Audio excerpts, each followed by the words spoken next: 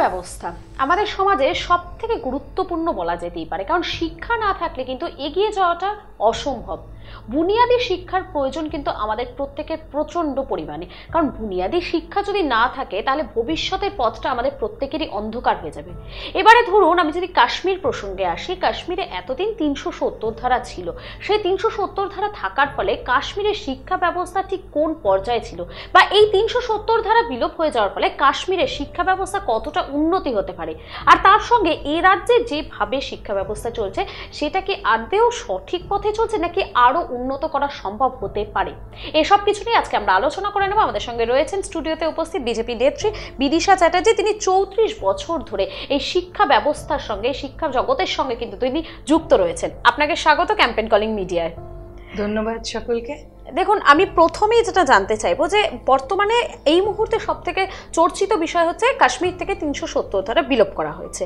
এই তিনশো সত্তর ধারা থাকার ফলে এতদিনে কাশ্মীরের শিক্ষা ব্যবস্থাটা ঠিক কী পর্যায়ে ছিল? মানে সেটা এবারে ঠিক কি পরিবর্তন হতে চলেছে কাশ্মীরের শিক্ষা ব্যবস্থার? আমরা যদি আমাদের ইতিহাসটা দেখি, তাহলে দেখব ভারত স্বাধীন হওয়ার সাথে সাথে সবচেয়ে বড় যে দুটি ঐতিহাসিক ভুল বলব, যে নিজাম অফ হায়দ্রাবাদ আর হরি সিং, যিনি কাশ্মীরের রাজা ছিলেন, তারা দুজনে আমাদের স্বাধীনতার সাথে সাথে প্রিন্সলি প্রভিন্সের প্রিভিলেজটাকে আটকে রাখলেন। অর্থাৎ তারা বলে দিলেন যে তাদের সমস্ত কিছু আলাদা এবং তারা সেই নীতিতেই থাকবেন। তখন কিন্তু এটাকে সম্পূর্ণভাবে অপোজ করেছিলেন শ্রদ্ধেয় শ্যামাপ্রসাদ মুখার্জি।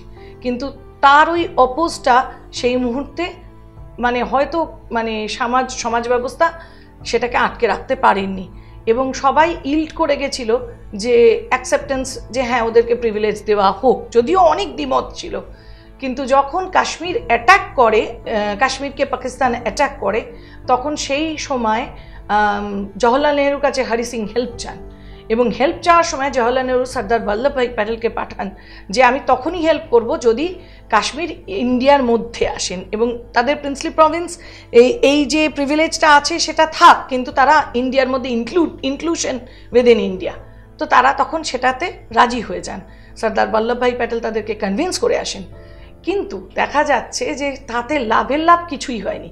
সবচেয়ে বড় যেটা মানুষের সবচেয়ে বড় হাতিয়ার, সেটা হচ্ছে শিক্ষা। শিক্ষা ছাড়া আজকে কোনো স্টেটের বলুন, কোনো দেশের বলুন, কোনো নেশনের বলুন, কোনোভাবে কোনো উন্নতি পাবেন না।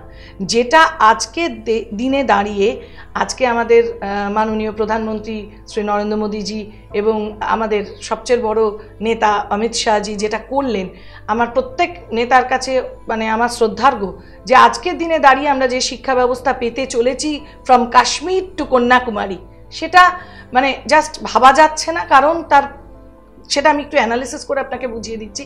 খুব সামান্য, সেটা হচ্ছে আজকে শিক্ষা ব্যবস্থাটা রয়েছে যে বেসিসে কাশ্মীরে কাশ্মীর ছিল কন্টিনিউয়াস কারফিউ এরিয়া যেখানে বাচ্চারা স্কুল, কলেজ যেতে পারতো না এবং কাশ্মীরি মুসলিমসরা তথাকথিত, তারা যদি কোনো জায়গায় বেরিয়ে গিয়ে পড়তে যেত, তাহলে তাদেরকে ধরে নেওয়া হতো যে তারা মানে তাদেরকে একটা সোসাই, সোসাইটি স্টিরিওটাইপ স্টিগমা দিয়ে দেওয়া হতো যে they are not proper people, they are rather militants এইভাবে তারা হেকল্ড হতো সমাজে এবং তারা কোথাও গিয়ে এডুকেশনটা নিতে পারতো না। স্কুল, কলেজ সব বন্ধ। তাদের জীবন থেকে শিক্ষা একদম উঠে গিয়েছিল। তার জন্য অশিক্ষা তাদেরকে পুরোপুরি গ্রাস করে নিয়েছিল। আজকে যে সমাজ ব্যবস্থায় আনরেস্ট সেটা এই একই কারণে হয়েছিল। আজ তিনশো সত্তরের এই যে ধারাটা যখন অটোমেটিক্যালি অ্যাবলিশড হয়ে গেছে, এখন আস্তে আস্তে যখন এই মিলিটারি রেজিমেন্টেশনটা যখন আস্তে আস্তে দেখবেন রেগুলারাইজড হয়ে যাচ্ছে, তখন দেখবেন এখানে স্কুলগুলি আবার তার নিজের গোতে চলতে থাকবে। স্কুলগুলোতে বাচ্চারা যাবে, অবলীলায় সেখানে শিক্ষা দেওয়া হবে এবং আগামী দিনে আগামী প্রজন্ম, শিক্ষিত প্রজন্ম বলে আমরা পাবো। আজকে যদি সেইখান থেকে আসি, তাহলে আমাদের মাননীয় প্রধানমন্ত্রীর উদ্দেশ্যটা কি? সেটা বুঝতে হবে। তার উদ্দেশ্য হচ্ছে ভারতের প্রতিটা মানুষ, প্রতিটা একদম মানে স্টার্টিং ফ্রম একদম টোটাল টডলার্স থেকে শুরু করে একদম আবাল বৃদ্ধ বনিতা, সবার মধ্যে যেন শিক্ষার আলোক থাকে এবং সেটা ডিজিটালাইজড ওয়েতে থাকে। অর্থাৎ শিক্ষা, যে শিক্ষাটা আমাদের একমাত্র ঐতিহ্য, সংস্কৃতির সাথে এটা আমাদের প্যারালাল ঐতিহ্য, সেই শিক্ষার সাথে আমরা মেলাচ্ছি কাকে? লেটেস্ট আজকের যুগের যে যুগোপযোগী ডিজিটালাইজেশন সেটাকে। সেইটা হচ্ছে শ্রদ্ধেয় নরেন্দ্র মোদীজির একমাত্র কামনা। সেইটা করতে গিয়ে আজকে উনি এত কিছু মানে ইন্ট্রিক ব্যাপারের মধ্যে উনি আস্তে আস্তে ঢুকছেন। ঢুকছেন বলি আজকে কাশ্মীরের এই হ্যাঁ, কাশ্মীরের প্রসঙ্গটা সব থেকে বেশি যে কাশ্মীরে যারা এতদিন পর্যন্ত যারা ছিলেন বা যে সমস্ত ছোট ছোট বাচ্চারা রয়েছেন তাদের বুনিয়াদী শিক্ষাটার প্রয়োজন অত্যন্ত বেশি। অত্যন্ত হ্যাঁ এবং এই তিনশো সত্তর ধারা বিলোপের ফলে আপনার কি মনে হয় সেই শিক্ষা ব্যবস্থাটা ঠিক কোনভাবে এবারে এগিয়ে যেতে পারে? একদম নর্মাল কোর্সে যেভাবে অন্যান্য সমস্ত স্টেটে শিক্ষা এগোচ্ছে সেইভাবেই এই দুটি দুটি ইন ইন্ডিভিজুয়াল ইউনিয়ন টেরিটরিতে এবার আপনি দেখবেন শিক্ষা ব্যবস্থা এগোচ্ছে। এবং শিক্ষা সেখানে এতটাই সুন্দর ফ্লারিশ করবে যে আজকের দিনে দাঁড়িয়ে আজকে আপনি জম্মু বলুন বা কাশ্মীর বলুন, প্রত্যেকটা জায়গা থেকে আপনি স্কলারদের পাবেন, যেটা এতদিন কোনোদিন আমরা কল্পনাও করতে পারিনি। এবং এই স্কলাররা যখন অটোমেটিক্যালি উঠে আসবে, তখন তাদেরও গর্ব আসবে যে আমাদের এখান থেকে তা আমরা কাউকে মানে ইন্ডিয়াতে তারা তাদের মার্ক রাখতে পারছে এবং তখন দেখবেন অটোমেটিক কাশ্মীর নিয়ে আজকে যে শিক্ষা ব্যবস্থা নেই, এই যে মানে শিক্ষার আলোটা নেই কাশ্মীরে, সেটা একদম সম্পূর্ণ বিলোপ হয়ে গেছে। আর আপনারা যদি মানে আরেকটু ভাবেন, তাহলে দেখবেন automatic within a very short span of time কাশ্মীরের স্কুল কলেজ নর্মাল ইয়েতে আসছে মানে সেটা হতে তো কতটা সময় লাগতে পারে? কারণ এটা তো মুখের কথা নয় যে কাশ্মীরে আবার শিক্ষা ব্যবস্থা অন্যান্য রাজ্যের মতো করে দেওয়া হবে। মানে সেটা তো জাদুকাঠিতে সম্ভব নয়। সেটা হতে তাও কতটা সময় লাগতে পারে? আপনার কি মনে হয় না আমাদের শ্রদ্ধেয় প্রধানমন্ত্রীর হাতে সেই ধরনের ম্যাজিক্যাল ওয়ান্ড আছে? ডেফিনেটলি আছে। এটা খুব হয়তো আপনি কাউন্টেবল ডেজে আমি বলতে পারব না যে ঠিক এই দু মাসে হবে বা ছ মাসে হবে। বলা যেতেই পারে কিন্তু আমি এইটুকু আপনাকে অ্যাসিওরেন্স দিতে পারি। আজকে যেভাবে উনি এগোচ্ছেন তাতে যদি আমরা সবাই আপামোর জনসাধারণ যদি ওনাকে সাপোর্ট করি তাহলে definitely within a very short span of time আপনি দেখবেন কাশ্মীর অন্যান্য স্টেটের মতো শিক্ষা ব্যবস্থায় স্ট্রং হয়ে গেছে। মানে কি কি হতে পারে? সেখানে স্কুল প্রথমত স্কুল তো আছেই অলরেডি এক্সিস্ট করছে বিভিন্ন স্কুল আছে কাশ্মীরে তবে সংখ্যায় কম। সেগুলি দেখবেন নর্মাল স্ট্র্যাটেজিতে তারা এগোচ্ছে। এবার আমরা যেটা পেতে চলেছি হায়ার এডুকেশন হায়ার এডুকেশনের জন্য যদি আমরা এই মুহূর্তে কাশ্মীরে না তার ফেসিলিটি পাই, কিন্তু আশা করি সমস্ত স্টেট বলুন, সমস্ত জায়গাগুলো কাশ্মীরকে ওপেন করে দেবে, তাদের কলেজে তাদের ইউনিভার্সিটিতে স্টুডেন্টসরা যাতে অবলীলায় অ্যাডমিশন নিতে পারে, যেটা আগে হিন্ড্রেন্সের মাধ্যমে হতো। একটা বাচ্চা যখন কোথাও গিয়ে অ্যাডমিশন নিতে যেত, তখন তাকে একটা ওই স্টিগমার মধ্যে পড়ে যেতে হতো। তাই জন্য তারা কোনোভাবে এডুকেশন থেকে পিছিয়ে থাকতো নিজেদেরকে গুটিয়ে রাখতো। সেই জিনিসটা হবে না। দেখুন আমরা কথায় কথায় অনেকক্ষণ ধরে বলছি যে অন্যান্য রাজ্যের মতো অন্যান্য রাজ্যের প্রসঙ্গে আসাটা সম্ভব নয় তবে আমাদের রাজ্য পশ্চিমবঙ্গ আপনার কি মনে হয়? পশ্চিমবঙ্গে বর্তমানে যে শিক্ষা ব্যবস্থাটা রয়েছে যে প্যাটার্নে পড়াশুনো করা হচ্ছে সেটা কি ঠিক নাকি এর থেকেও আরও উন্নতি হওয়া সম্ভব? আমাদের মাননীয় মুখ্যমন্ত্রী যিনি আছেন আমি তার সাথে সশ্রদ্ধায় বলছি। যে তিনি শিক্ষা ব্যবস্থাটা নিয়ে বড়ই ছেলে খেলা করেছেন, ঠিক আগের যারা ছিলেন তাদের মতো করেই। আমাদের, তার আগে যারা ছিলেন, তারা হঠাৎ করে ইংরেজিটাকে উধাও করে দিলেন, যেখানে ইংরেজি হচ্ছে গ্লোবালাইজেশনের একটা একান্ত মাধ্যম। Without English we cannot sustain তিনি, তারা ইংলিশ তুলে দিলেন। আমাদের মাননীয় মুখ্যমন্ত্রী এখন তার নিজের যেভাবে দরকার শিক্ষা ব্যবস্থা চালানো, তিনি সেভাবে চালিয়ে যাচ্ছেন। আমরা কথায় কথায় বলছি মোহাম্মদ বিন তুগলাকের রিবার্থ হয়েছে। কিন্তু কেন এই শিক্ষা ব্যবস্থাটা নিয়ে এ ধরনের প্রহসন চলছে, এটা যদি আমরা একটু তলিয়ে ভাবি, তাহলে দেখব ওয়ারাজ প্যারালালি আমাদের প্রধানমন্ত্রী, মাননীয় প্রধানমন্ত্রী শ্রী নরেন্দ্র মোদী, এই প্রথম শিক্ষা ব্যবস্থার জগতে এত বড় আলোড়ন সৃষ্টিকারী একটি স্টেপ নিলেন, অর্থাৎ five plus three plus three plus four অর্থাৎ এই যে চারটে বোর্ডের মাধ্যমে বাচ্চারা পরীক্ষা অ্যাপিয়ার করবে, এটা নিলেন জনগণের রায় নিয়ে তারপর এটা উনি এস্টাবলিশ করলেন। তার আগে কিন্তু প্রত্যেকের আমাদের যত শিক্ষা জগতের সাথে জড়িত মানুষরা আছেন, বিভিন্ন বড় বড় স্টলওয়ার্ড শিক্ষাবিদরা আছেন এবং যারা শিক্ষা রিলেটেড মানুষ নন, সাধারণ মানুষ, তাদের প্রত্যেকের মতামত নিয়ে শ্রদ্ধেয় নরেন্দ্র মোদীজি এত বড় একটা স্টেপ নিলেন। এই স্টেপটা আজকে আমরা খুব সাবলীলভাবে বলতে পারছি, কিন্তু আজ থেকে কিছু বছর আগে আমরা ভাবতে পারতাম না। বাচ্চাদের শিক্ষা ব্যবস্থা নিয়ে ছেলে খেলা হতো। একটা বোর্ড দেবে বাচ্চারা। যখন একটা বোর্ড অ্যাপিয়ার করছে একটা বাচ্চা সারা জীবন ধরে পড়াশুনো করে এসে, তখন সে সেটা ভমিট করা ছাড়া আর কিছু করছে না। ব্রেনের একটা নিজস্ব, নিজস্বতা আছে। এই মাইন্ড পাওয়ার এটাকে এস্টাবলিশ করে শিক্ষাকে নিয়ে যে চারটে বোর্ড উনি করে দিলেন একটি ছাতার নিচে যে স্বপ্নটা দেখেছিলেন শ্রদ্ধেয় শ্যামাপ্রসাদ মুখার্জি যে অখণ্ড ভারত।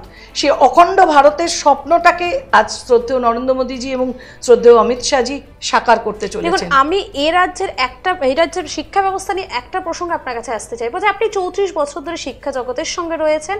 আপনি এই বিষয়টা জানেন যে চৌত্রিশ বছর ধরে আপনি এই জগতে থাকার ফলে আগের সরকার অর্থাৎ বাম সরকারের আমলে শিক্ষা ব্যবস্থা যেমন ছিল তার থেকে কি কিছুটা হলেও উন্নতির দিকে নিয়ে যেতে পেরেছে? কারণ এর এই প্রশ্নটা করার অর্থ হচ্ছে এখানে একটা ছোট্ট উদাহরণ দেওয়া যেতে পারে যে এর আগে আমরা সিবিএসসি বা আইসিএসসি বোর্ডের যে সমস্ত পড়ুয়ারা ছিলেন, তাদের রেজাল্টে দেখতাম যে প্রত্যেকে প্রায় অ্যাভাব নাইনটি পার্সেন্ট পেত।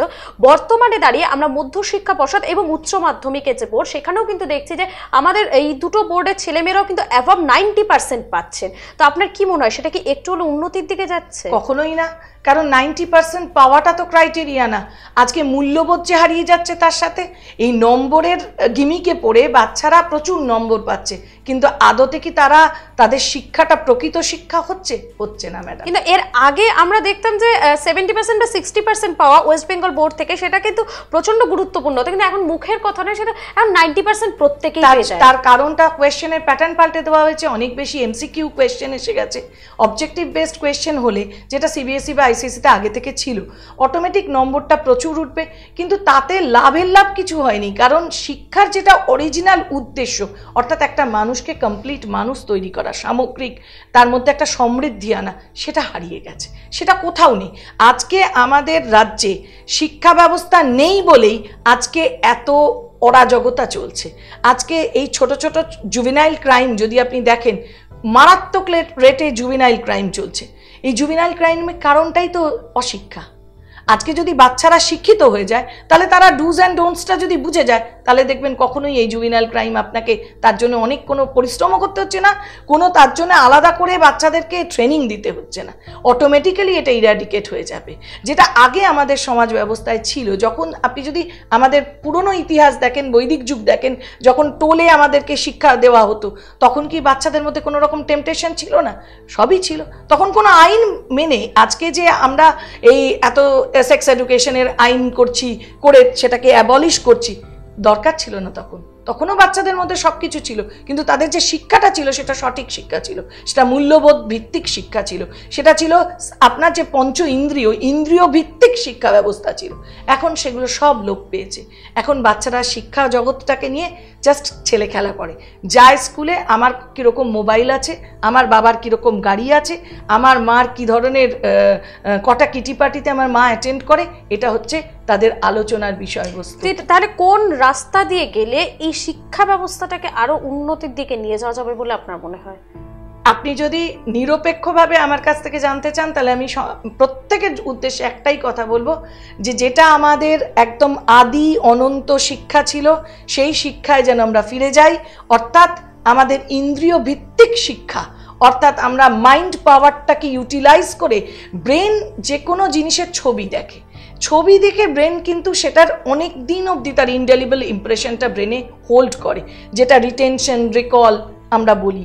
সেই রিটেনশন আর রিকলটাকে যদি আমরা আবার ফিরিয়ে আনতে পারি শিক্ষার জগতের মধ্যে, তাহলে দেখবেন অটোমেটিক্যালি আমাদের যে শিক্ষার পদ্ধতিটা আছে, সেই প্যাটার্নটাকে যদি অ্যাবলিশ করে দিই আমরা একটু ভাবি যে আমরা যে শিক্ষা ব্যবস্থাটা শ্রদ্ধেয় নরেন্দ্র মোদী যে অ্যানাউন্স করেছেন, সেটা স্টেটেও আনব। তাহলে অটোমেটিক আর কোনো রকম ডিসপ্যারিটি থাকবে না। আমরা যদি প্যারিটি আনতে চাই স্টেট আর সেন্ট্রালের সাথে, তাহলে এই জায়গাটাই আসতে হবে আপনাকে। তাহলে অটোমেটিক আপনারা আজকে যে শিক্ষা ব্যবস্থার মধ্যে গিমিকটা আর পাবেন না। একটা বাচ্চা সিবিএসসি থেকে যখন এইটি পার্সেন্ট পেয়ে বেরোচ্ছে তারও যা মূল্যবোধ থাকছে একটা বাচ্চা স্টেট বোর্ড থেকেও যখন এইটি পার্সেন্ট পেয়ে বেরোচ্ছে সেম মূল্যবোধ নিয়েই সে বেরোচ্ছে। দেখুন এই কথা বলতে বলতে অনেকগুলো বোর্ডের কথা আমরা বলে ফেলেছি সিবিএসসি আইসিএসসি বা আমাদের রাজ্যের বোর্ডের কথা। তবে এই পুরো শিক্ষা ব্যবস্থাটাকে কি একটা ছাতার তলে আনা সম্ভব? ডেফিনেটলি আনা সম্ভব।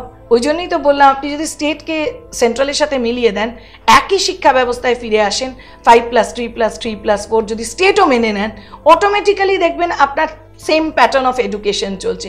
এমনিতেই আপনার যে কারিকুলামটা আমরা ফলো করি থ্রু আউট দেখবেন আপনি স্টেট বোর্ডের যে পড়াশুনোটা আমাদের যে সেন্ট্রাল বোর্ডের অফ সেকেন্ডারি এডুকেশনের যে পড়াশুনোটা আইসিএসির যে পড়াশুনোটা, সবটাই মোটামুটি একই প্যাটার্নে চলছে, কারণ কোয়েশ্চেন প্যাটার্নটা এক হয়ে গেছে objective based objective based question হলেই মার্কস অনেক বেশি উঠবে সাবজেক্টিভ বেসড কোয়েশ্চেন হলে মার্কস অনেক কম উঠবে। তো সেই জিনিসটাকে যদি আজকে স্টেটে আমাদের মাননীয় মুখ্যমন্ত্রী, তিনি তো অনেক কিছু করছেন, অনেক তুগলাকের থেকে তো আমরা অনেক ভালো কিছু পেয়েছি। তো তিনি যদি একটু তার এই নীতিতে শিক্ষা ব্যবস্থাটাকে আরেকটু আলোকিত করেন তাহলে আজকে শ্রদ্ধেয় নরেন্দ্র মোদীজি যত বড় অ্যাটেম্প নিয়েছেন, উনিও নিতে পারেন। এবং এর ফলে শিক্ষা ব্যবস্থাটা আপনার মতে যে অনেকটা উন্নতির অনেক উন্নতি। আজকে সমাজ থেকে আপনি অনেক বেশি ক্রাইম ইরেজ করে আউট ইরেজ আউট করতে পারবেন। অর্থাৎ শিক্ষা ব্যবস্থা যদি আরেকটু উন্নতি করা সম্ভব হয় তাহলে সমাজ থেকে অপরাধমূলক যে সমস্ত ঘটনাগুলো রয়েছে সেগুলো কিছুটা হলেও আমরা মুছে ফেলতে পারব। আপনাকে অসংখ্য ধন্যবাদ। আপনি ব্যস্ততার মধ্যেও আমাদের সময় দিয়েছেন। অসংখ্য ধন্যবাদ আমার দর্শক বন্ধুদের যারা এতক্ষণ আমার সঙ্গে অনুষ্ঠানটি দেখছিলেন। নমস্কার।